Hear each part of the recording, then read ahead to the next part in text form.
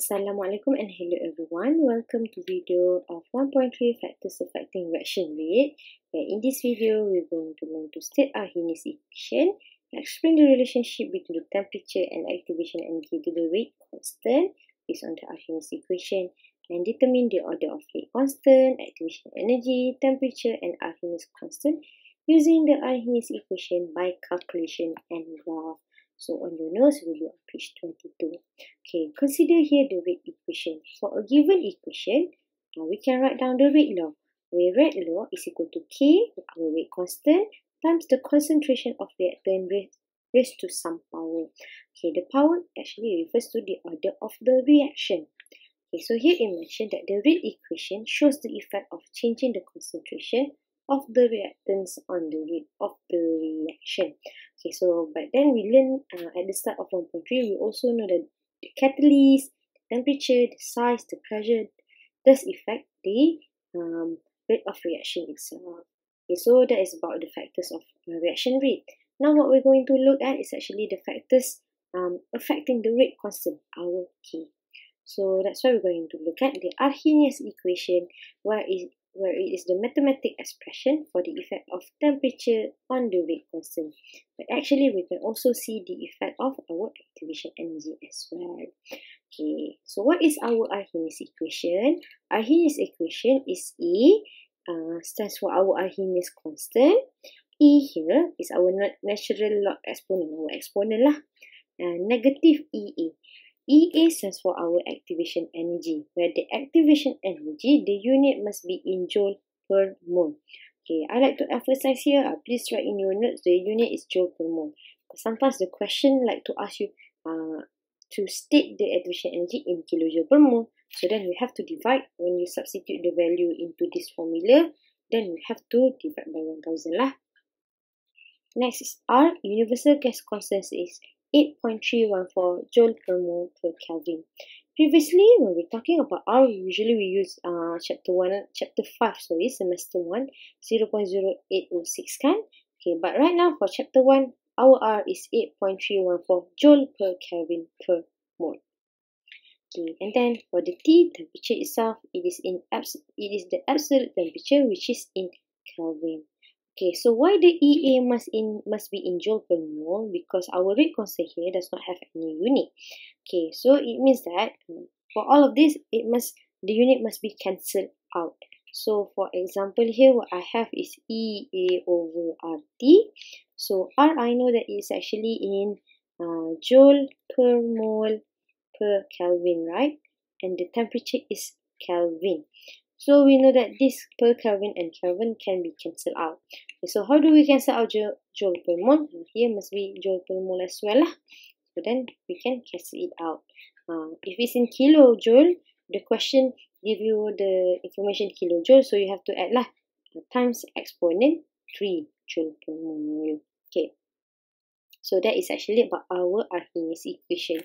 Right now what we're going to look at is the effect of our temperature and our activation energy on our rate constant. Okay, so the first one I'm going to look at is actually the effect of temperature. So sometimes when we look at the effect, um, sometimes it's quite vague. So what we like to do is actually uh, substitute all the value here into the equation. So A, I'm going to substitute 1, EA is 100, R is 8.314. Okay, but then in this case, when we're talking about relationship between K and T, okay, for these two cases, we're going to look at where we, will substitute two different values of T. So when I substitute all the values here, when T, when temperature is 10 Kelvin, my rate constant is 0.3. But when the temperature is 20 Kelvin, my rate constant is 0.54. So as we can see, as T increases, uh, my K increases. So here, when temperature T increases, the term E negative E, E A over R T. So here it means this term lah. Okay, and because we know it is 1 kan, the value of A, we substitute it as 1. So as we can see actually the term, uh, it's actually the this term is 0.3 and this term is 0.54. So we can see that the term itself increases and the value of rate constant also increase. So that is the effect of our temperature on rate constant. Next, we're going to look at the effect of activation energy on the rate constant. Okay, again, right now I'm going to substitute the values. Okay, so here A1 are 8.314, T is 10 Kelvin. But what I'm going to change is actually my EA. Here is 100. Now, the second one, uh, eh, T pula. Here is actually my EA is 200 joule per mole. So, when you substitute all the values, you will get this answer. Okay, as we can see, when our activation energy increases, uh, my K decrease. So what happened here is that when the activation energy increases, we have to explain the term itself. Here the value will decrease. Hence, the value of rate constant also decrease. Okay, so for the factors affecting rate constant, uh, there are only two factors we're going to look at. Temperature and activation energy. Okay, so that is for the factors. Next, what we're going to look at is actually how to use the um, the formula itself. Okay, so the first one we're going to look at is in the case of our um, graph. Okay, so how to plot the graph? So this is actually our Arrhenius equation. So um, how to use it in the graph. So first thing first, what we're going to do is actually learn on both sides. So here when we learn on both sides, here we got ln E kan, so it will be cancelled out. So negative EE over RT, it's still there. And then from here, we're going to rearrange it to get Y equal to MX plus C. Okay, for the MX plus C, then you know that your Y must be ln K. Okay, your M, your gradient, you will get your negative EA over R. Okay, since the, your M is negative, so that's why your graph will get a negative slope. Okay, again, remember that the activation energy, I like to emphasize, you will get joule per mole. Okay, and then for your for your x-axis, it's not t straight away, it's, it is 1 over t. And your y-intercept must be on E. Okay, so that is actually the introduction. So let's straight away do the um, uh, exercise. So for example number one, it asks you the rate constant for the composition of hydrogen iodide are given in the table below. Determine the activation energy for the decomposition graphically. So it means that to determine the activation energy, you must determine from graph method, graphical method. Okay, and then your activation energy, let's look here. Here is your activation energy. It depends, uh, we can find the EA from your gradient. So, uh, whether you like it or not, you have to do the graph. Okay, so here is the, um, uh, is the, here is the information given. So, we have our temperature and rate constant. So, this is K. But then, uh, this is my temperature, sorry.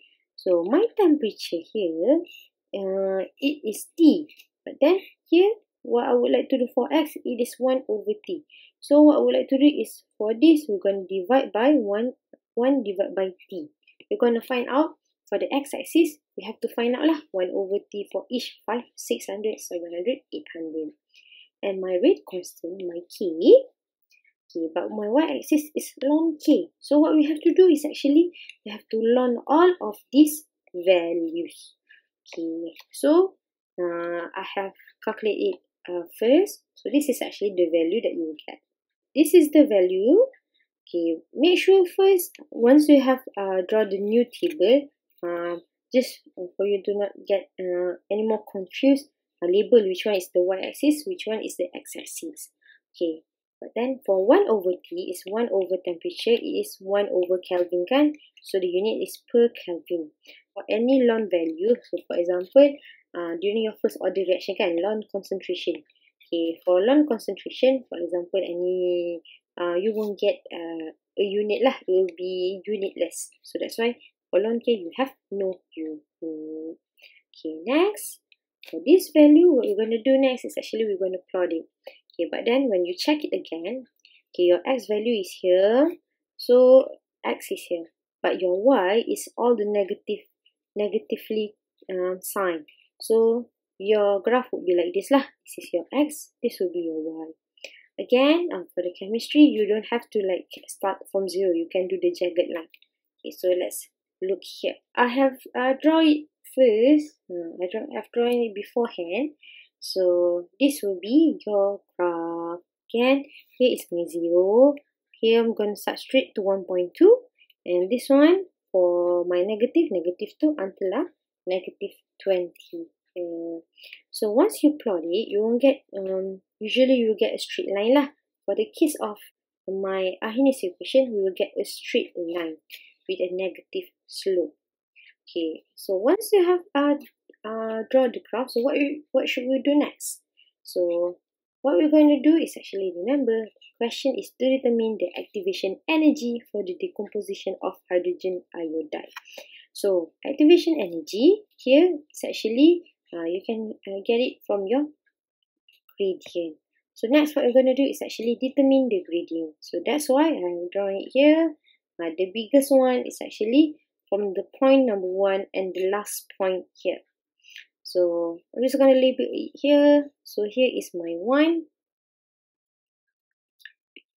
Oh. And here is my two. Okay, next what we're to do is actually I'm to find out the gradient itself.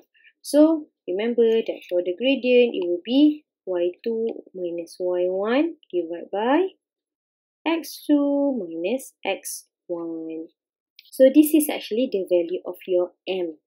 Okay, but then how do we get the activation energy? Okay, mm, and then we do get our negatively sign. So what happened next is actually, okay, remember, okay, your M is actually your negative EA over R. So we're going to write down M is M equal to negative EA over R. So negative EA is your unknown R is your gas constant. So what is the uh, gas constant? Is 8.314. So here is actually 8.314.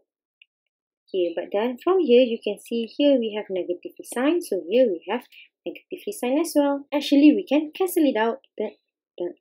So our activation energy, you will get 186,674. Okay. Then how about the unit? Remember, the unit is actually EA is joule per mole. So here is joule per mole. Okay, but then the question, the question here give you 186 kilojoule per mole. Okay, um, but then the question does not specifically mention that you have to answer it in kilojoule per mole. You don't have to change lah. But if you want to change, uh, no problem.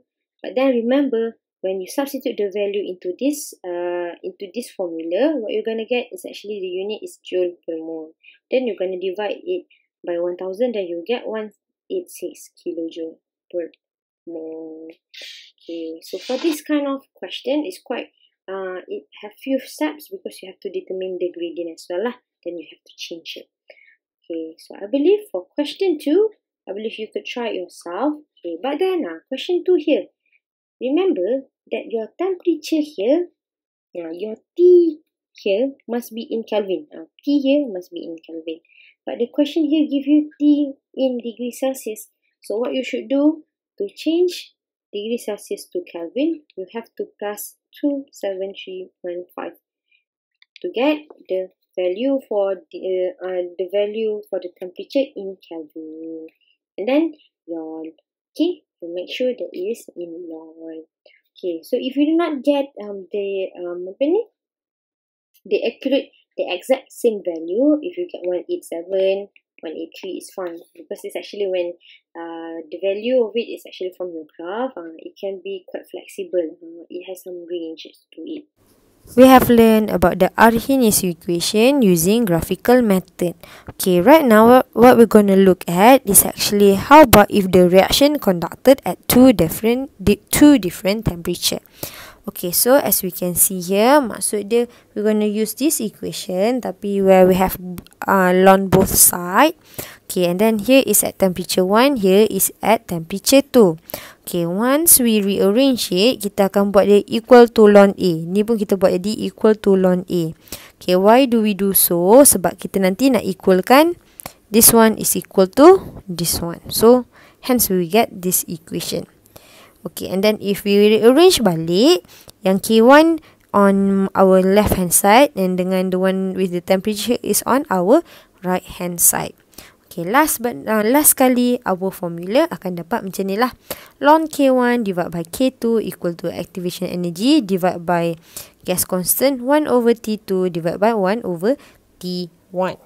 Okay, so K1 dengan K2, unit dia tu tengoklah selalunya dia akan bagilah. So, it's no problem for you.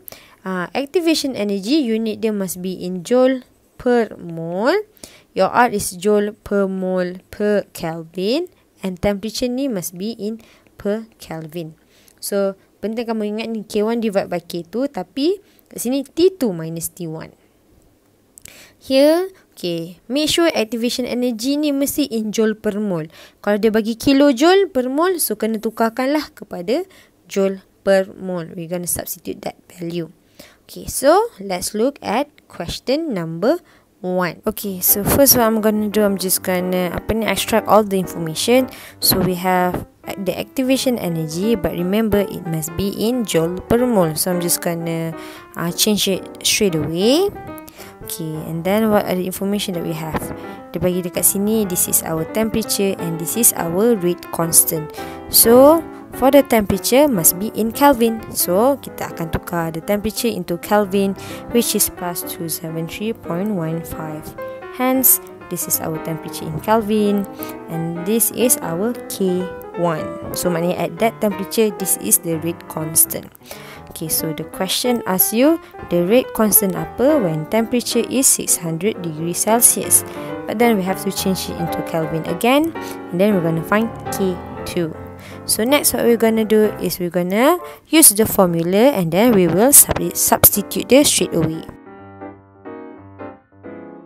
Okay, so this is my K1, K2 yang nak cari EA, yang itu R is a constant 8.314, T2 here and T1 is this one. So again, direct substitution. Okay, so for the calculation, what I would like to do adalah Mi suka buat one step by step.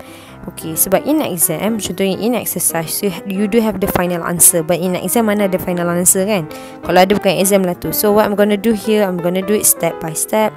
So, sekarang ni, okay, nak hilangkan ln. So, I'm gonna exponentkan this value, ex, uh, shift ln this value.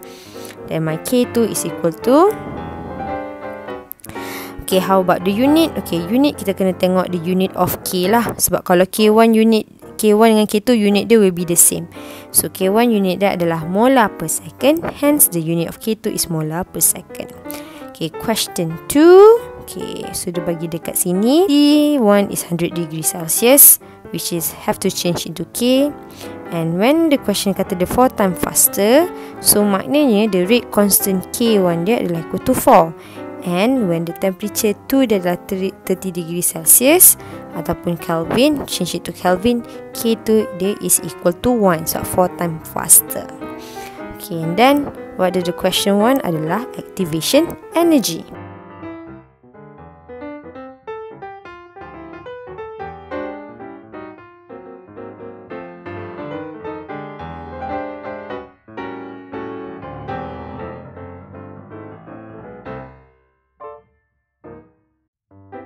Okay, and then the activation energy is this value. We will get this one. So how, how about the unit? Unit of uh, activation energy is joule per mole. But then the question asks you calculate the energy of activation energy in kilojoule per mole.